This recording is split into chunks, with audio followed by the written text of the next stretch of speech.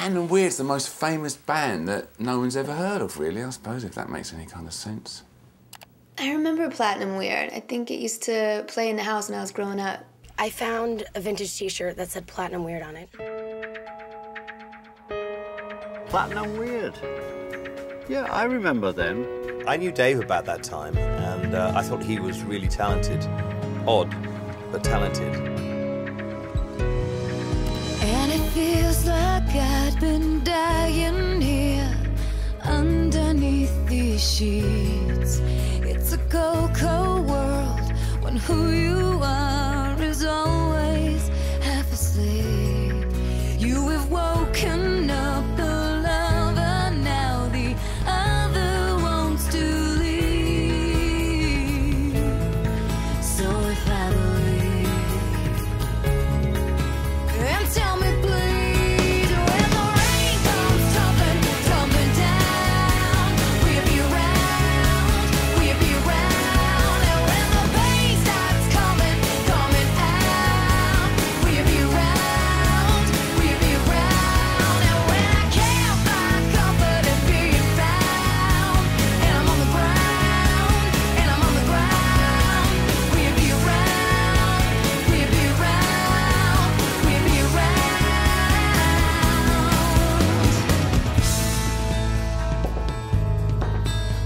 happy.